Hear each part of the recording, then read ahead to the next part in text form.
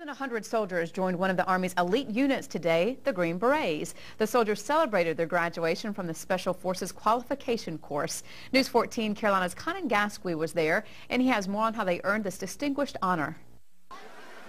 For more than a year, these soldiers went through some of the hardest training the Army has to offer. There were some rough times. Some, got snowed on a couple of times, cold, warm, hot, uh, a lot of sweat, so a little of everything. But on Thursday, Captain Corey Carter and 100 other soldiers celebrated the culmination of all their work. It was the first time they donned the Green Berets as members of the Special Forces Regiment.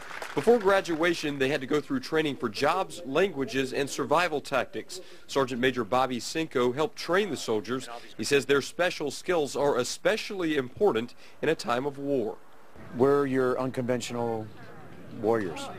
We're, uh, we're out there um, on the front lines, sometimes behind the front lines, uh, working with people, their cultures, and trying to win this war.